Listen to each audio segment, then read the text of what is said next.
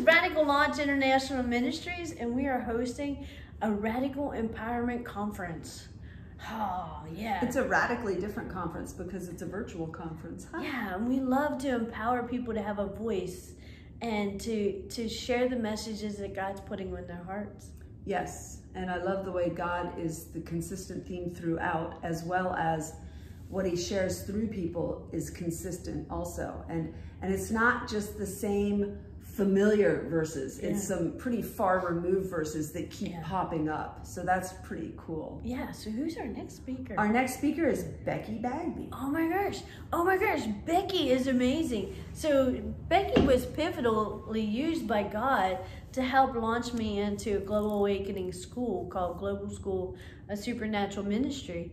And I went to go visit the, the ministry at a conference and to check out what their school was about and I was um, I was already ready to go to Liberty University as a youth pastor, and um, I was signed up, ready to go in January.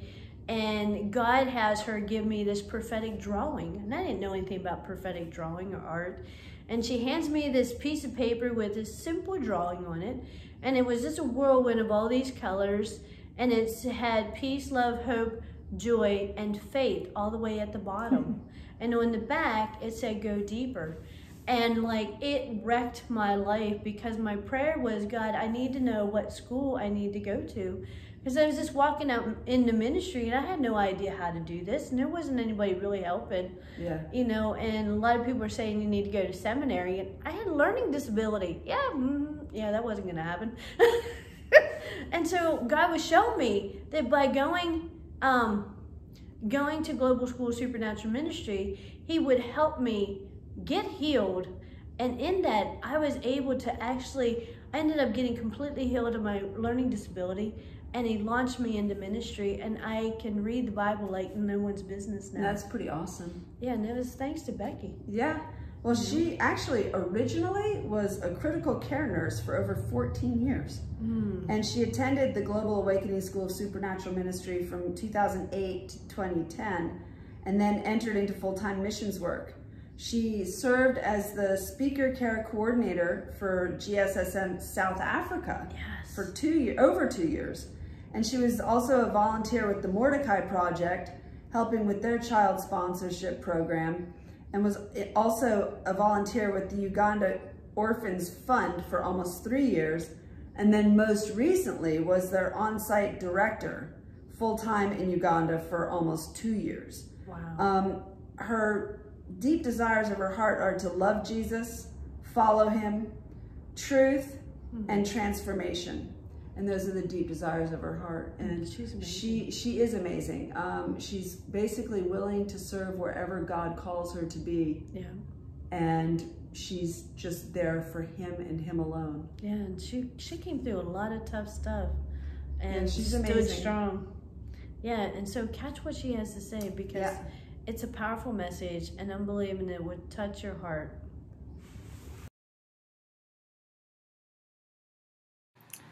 Hi, my name is Beckie Bagby, and today I would like to share a little bit with you about 10 simple things that I learned in the wilderness. But first, a little bit of background.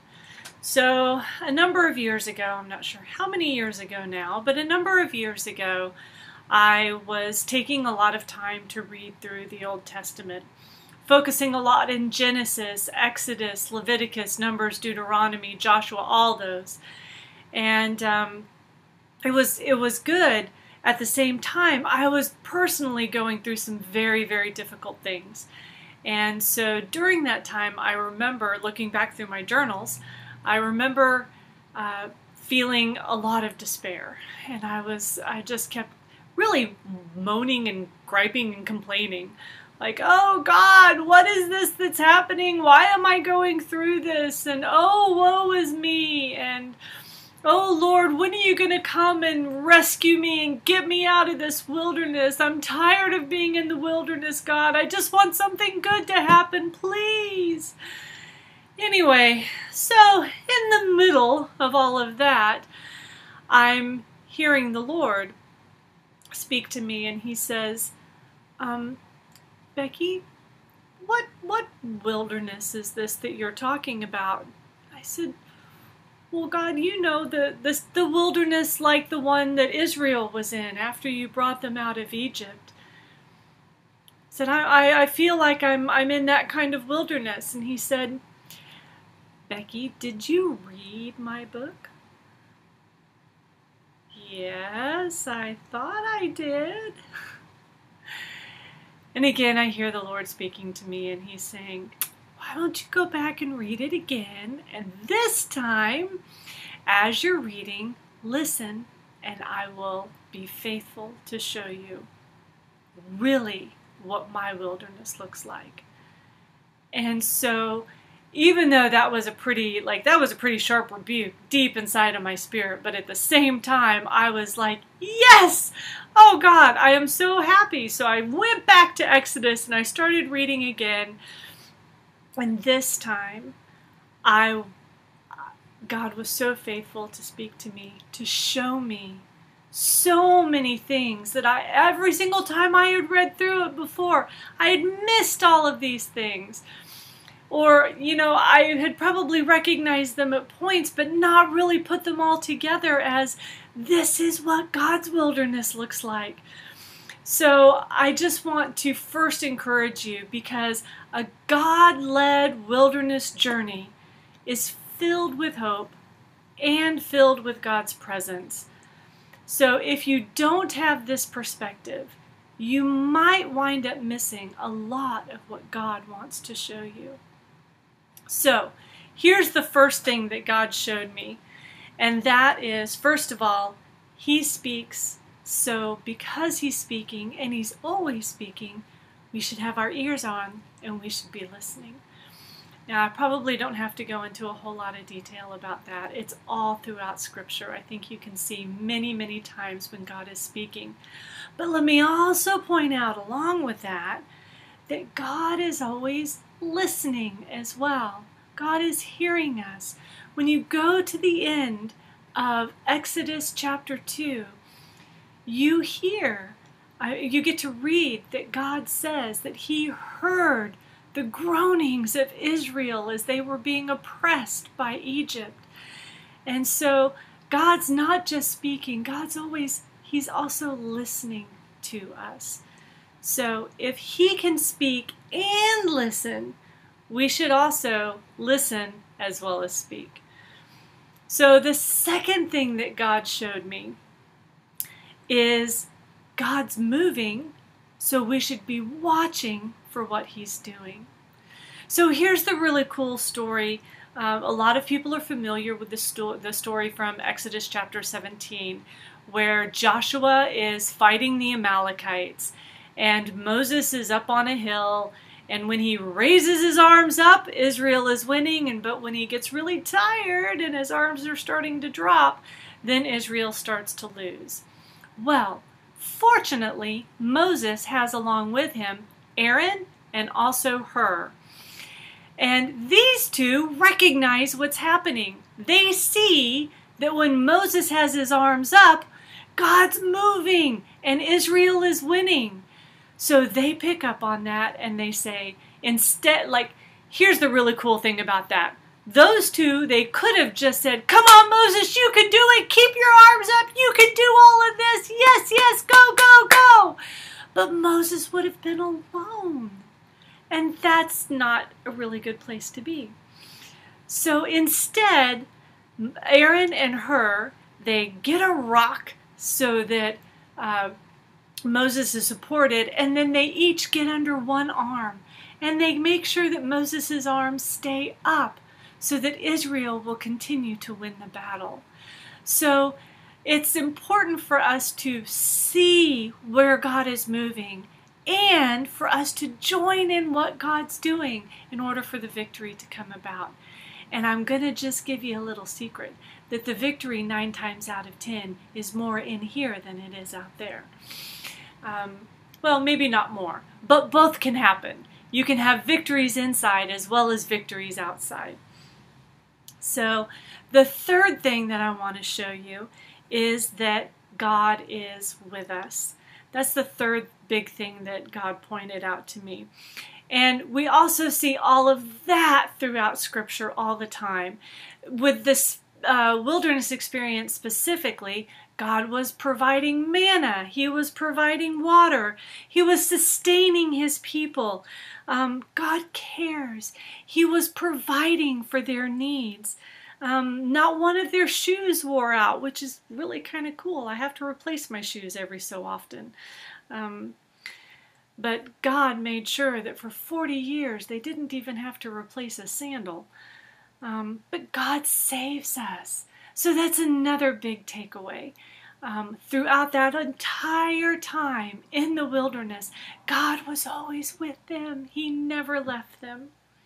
So, the fourth thing that I want to point out is that there is purposes in the wilderness. Now, a lot of times, especially if we get stuck in the, oh, woe is me, and what's happening? I, God, where are you? Where are you in all of this? Mm, that's not God's wilderness. That's a deception from the enemy. There is purpose in the wilderness. It's not just aimless wandering. And that's really cool.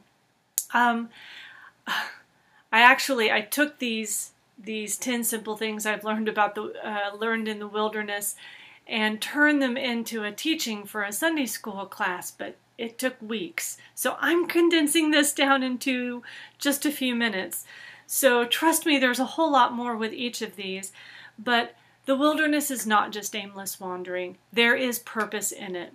For instance, in Exodus chapter 20, we see that the Ten Commandments are revealed. Now, one of the really cool things um, that's uh, one of the purposes of the wilderness is twofold. The first thing is God is going, going to reveal who He is, and He's going to reveal who He's not. So pay attention to those two things as you're reading. And the next thing is that he's also going to reveal who we are, who we were created to be from the foundation of the world. All those amazing things that we were created to do way back in Genesis, back in the, the garden. He's going to reveal who we are. He's also going to reveal who we are not.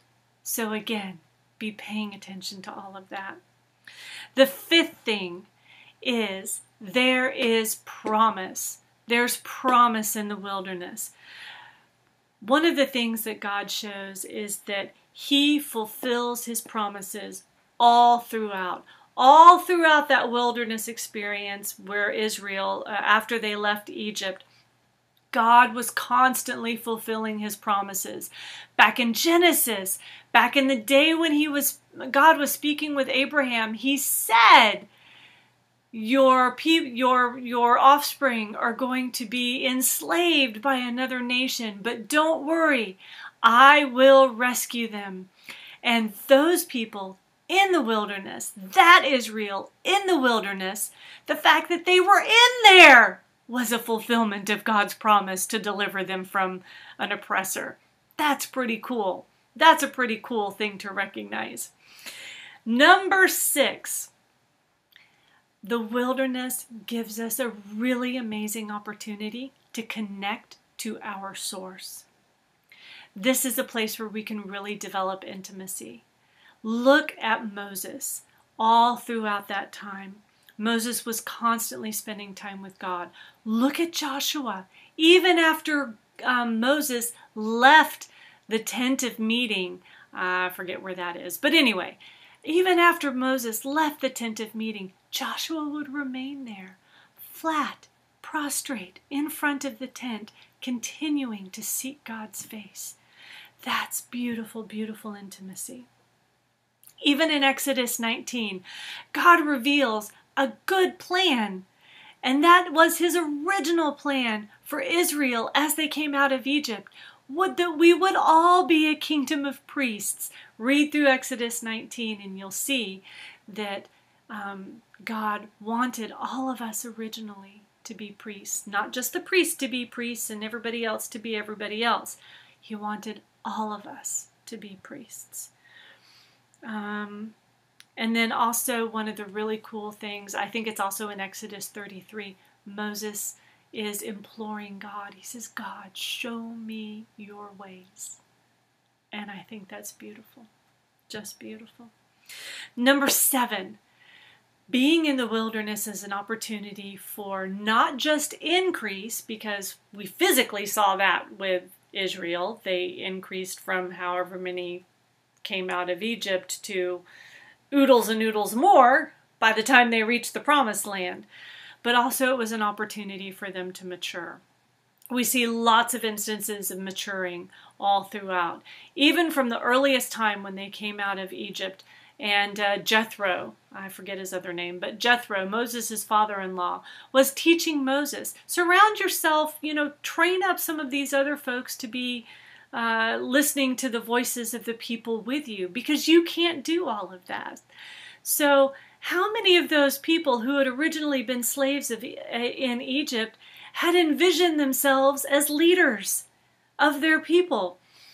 I don't know. I would imagine at some point probably none of them had envisioned themselves to be leaders, but yet God was raising them up, giving them an opportunity where they could grow and mature as leaders and seek intimacy with the Lord, which I think is amazing and beautiful.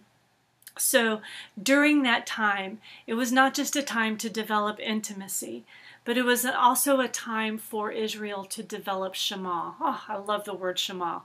It means to hear or to listen, but most every single time, um, actually, let me say that in a different way. Shema is also translated as obey. So every single time you see the word obey in the Old Testament, it's going to be Shema, which means to hear and let what you do flow from what you have heard. That is the essence of obedience. Anyway, that was a bit of an aside. Um, so uh, along with increase in maturity, they were learning about their identity, who they were and who they weren't, like I mentioned earlier. They were learning about leadership and discipleship, and of course, they were increasing. Uh, number eight is worship. Um, that word that's, that's um, used for worship in the Old Testament, again, I, I, apologize, I don't know how to define or how to pronounce this, but it's shakah and it means to bow down. And uh, I mentioned in Exodus 19 how we were all originally supposed to be uh, priests, but the people at that point in time, the people in general didn't want to hear God's voice directly. They left that to Moses, and that's kind of a sad moment. But Jesus also defines um, worship, when you obviously go to the New Testament, Jesus defines worship as being spirit, uh, being in spirit and in truth. So um, Jesus gives us a great definition of worship when he says that true worshipers will worship the Father in spirit and in truth. This is found in John chapter 4. The Hebrew word that is translated as shakah, I think I'm pronouncing that correctly, I don't know essentially means to bow down. So, worship, as Jesus defines it, um, means that we're to bow down on the inside as well as the outside. And Romans 12, 1 and 2 tells us that our spiritual worship is when we present our bodies as a living sacrifice, holy and acceptable to God. So, this means that all of us, all of us, inside, outside, all of us, is bowing down to worship and love God all of the time. Number nine, this is so, so, so important. If you feel like you are in a having a, a wilderness time, Again, recognize that there's so much hope and that God's presence is all throughout the wilderness. But also recognize that you, me, I need to come to the end of myself. And that is a big shift in perspective. I'm going to read just a couple of notes. Um, sometimes we we, meaning me too, sometimes we get in the way of God. We cannot hold on to Him if we're holding on to ourselves, if we're holding on to beliefs that don't match His kingdom, wounds or grudges or offenses or anything else. So, in order to move forward into the promised land, we need to come to the end of ourselves. I need to come to the end of myself. In Numbers 13, 12 spies go to the promised land, and they all see the same thing. But only two people, Joshua and Caleb, were willing to let go of all the other stuff they saw, the big giants and all that kind of stuff. They were the only two who were willing to let go of everything else they saw and believe God. They remained true to believing God over the next 40 years. And Joshua wound up leading the Israel into the promised land itself. Jesus assures us through his teachings that when we come to the end of ourselves, we will also find all things new. And those new things include new life, new mind, new heart, new eyes, new ears. There's a lot more other stuff. I can give you scripture verses for that another time. But it's just amazing when you realize how much can happen when you come to the end of yourself, there won't be a wilderness anymore. No. Brothers and sisters, there will not be. So, um,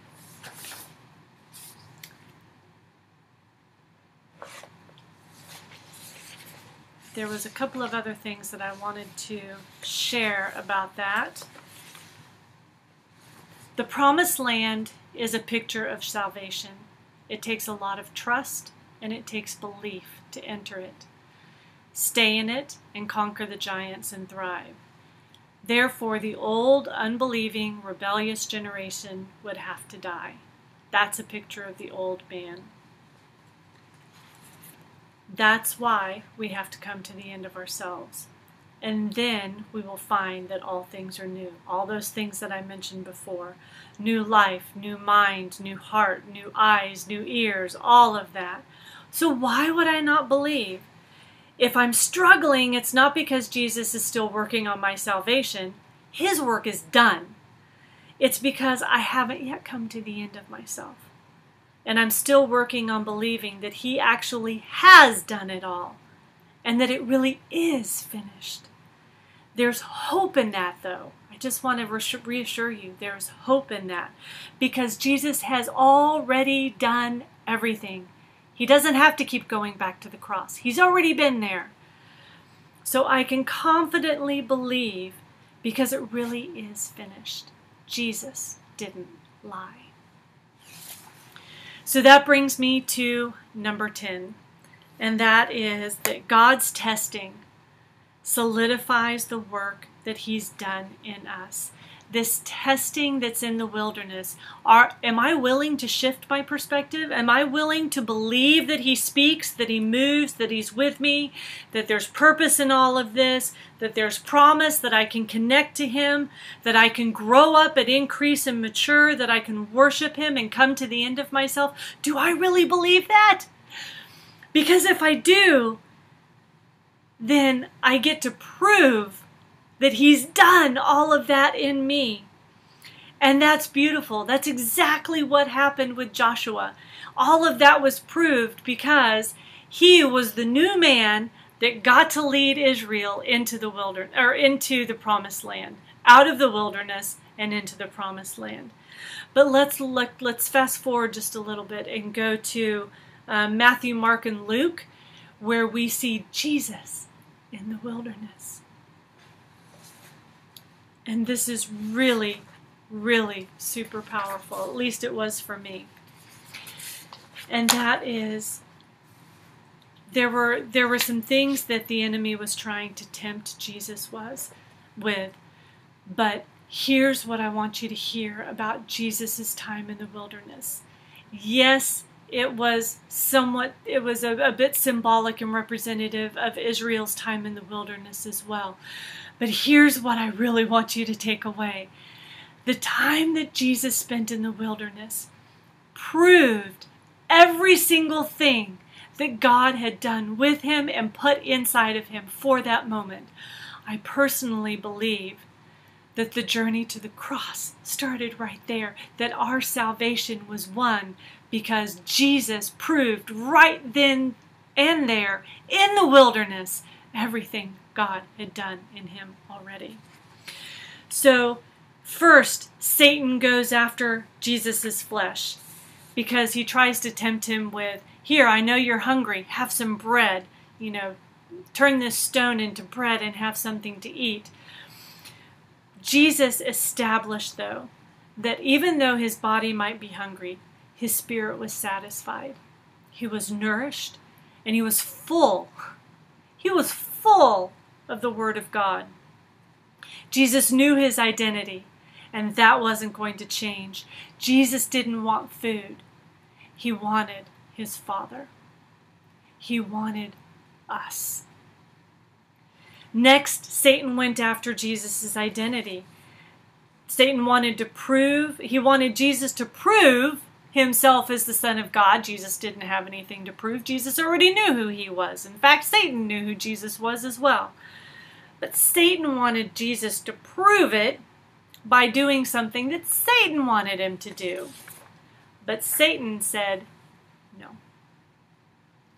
Jesus proved that he really was and is the Son of God by doing what God wanted him to do.